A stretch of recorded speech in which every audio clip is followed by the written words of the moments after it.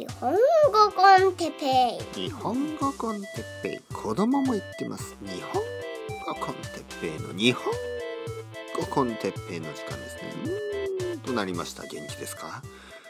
皆さん僕は元気です。今日は世界と自分について。世界と自分。皆さん元気ですか？こんばんは。僕は今日も元気ですよ。まあとは言ってもねちょっと疲れました。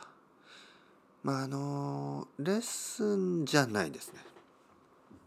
もちろんレッスンをあのたくさんしたんですけどたくさんのね世界中の人と日本語でたくさんの話をしました。だけどまあそれはね疲れるんですけどあのやっぱり嬉しい疲れ楽しい疲れ運動をした時のような。まあだけどあのやっぱりあの子供 いつも文句を言ってるわけじゃないですからね。いつもあの不満を言ってるわけではなくやっぱりあの子供とね遊ぶというのは あの疲れるあの疲れる疲れの質が違いますよね。疲れの質が違う。なんかあのやっぱりフィジカルなんですよ。ねとても。あのレッスンはねやっぱりメンタルですよねどちらかといえば。あの体は全然使わないですね。あの椅子に座ってるだけなのでほとんど使わない。だけどまあメンタル。こう精神的にねこうまあいろいろな話をするのであのすごくあの明るい話やすごく暗い話もしますよもちろん。まあ僕はあのいろいろな話をしないといけないと思ってますからね。一つもちろんその理由は日本語のためですね。皆さんは日本語を勉強している。そして日本語でいろいろな話をする。例えばネイティブスピーカー。僕だってあのやっぱり中学校の時高校の時大学の時いろいろな話をしました友達とねいろいろな話をした先生そうですね大学の時は先生といろいろな話をしました。で、まあ、恋人といろいろな話をしたり、ね、もちろん家族といろいろな話をしました。いろいろな話をいろいろな人として僕のあの日本語の能力が上がっていったんですね。ネイティブスピーカーもそうやって言語をあの習得する。言語言語をマスターする、ね、まあまだマスターしてないですけどあの言語があの上手くなった。自分を表現することができるようになった。自分の意見を言うことができるようになった。で外国語を勉強している人たちにとってはその経験が必要なんですね。外国語の勉強をしている人にも同じような経験をしてもらいたい。同じような経験をすることが必要なんです。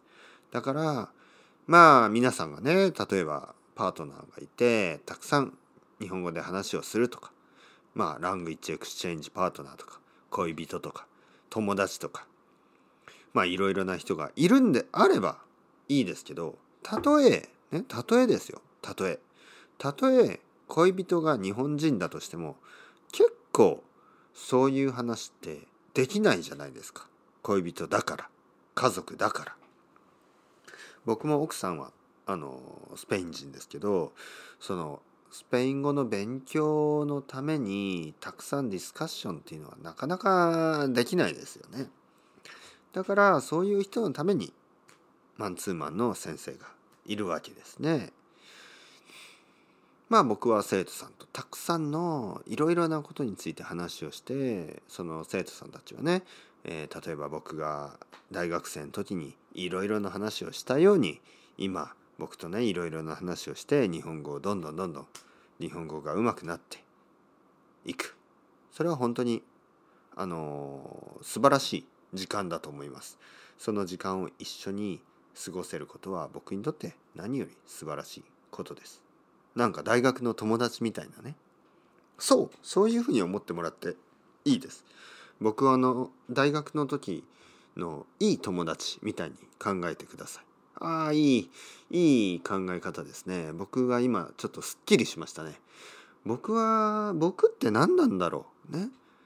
あの先生とかね哲平先生とか。あの哲平さんとか。その愛登記のレッスンの時にね言われて。でいろいろ話をしてます。毎週毎週1週間に2回とか。3回とか4回の人もいる。話をしながら僕は先生なのかな？僕って何なのかな？友達なのかな？でもね先生も友達も違う気がする。やっぱりね大学の時のいい友達。あの例えば友達っていろいろな友達がいますよね。なんか子供の時からの友達とかあんまりそんなこうディスカッションをたくさんしないですよね。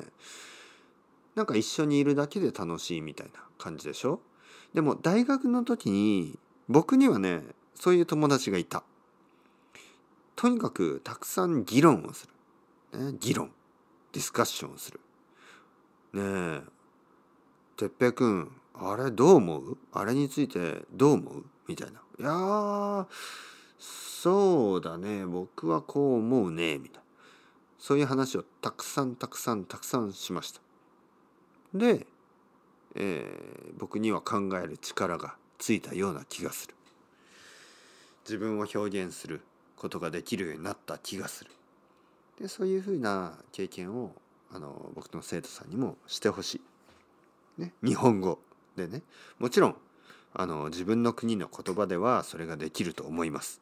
だけど日本語だとねそれがなかなかまだまだ難しいところがあると思うので、えー、たくさんたくさん話をしましょう。ということですね。えー、そうやってまあいろいろなことを考えると今日のトピック世界そして 日本じゃない。世界日本じゃない世界そして自分ですね。世界と自分、うん、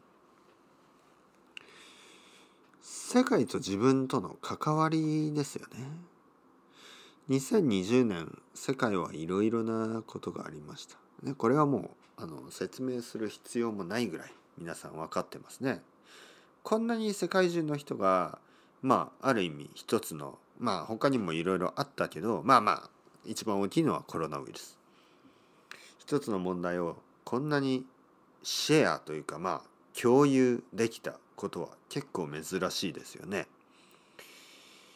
それとともにまあアメリカにはアメリカの問題日本には日本の問題、ね、ヨーロッパにはそれぞれの国のそれぞれの問題アフリカやアジアの国や全ての国でその全ての国の全ての場所でね日本でも沖縄とか北海道とか東京とかあの京都の方とか関西とかまあいろいろな場所でいろいろな問題がまたありましたよね。問題だけじゃなくていろいろなイベントとかありましたよね。でと自分ですよ。自分パーソナルなこと個人的なこと。このバランスですね。社会の問題は果たして自分の問題でしょうか。社会の問題とはあなたの問題でしょうか。うん。もちろんそうですよね。コロナウイコロナウイルスの問題は皆さん一人一人の問題でもあるし大統領を決めることは皆さん一人一人ねアメリカの皆さん一人一人にとって大事な問題だったかもしれない。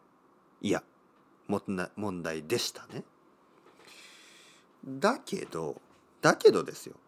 その問題があまりに自分の生活をまあうん苦しくするそういうことがあってはいけないですよね。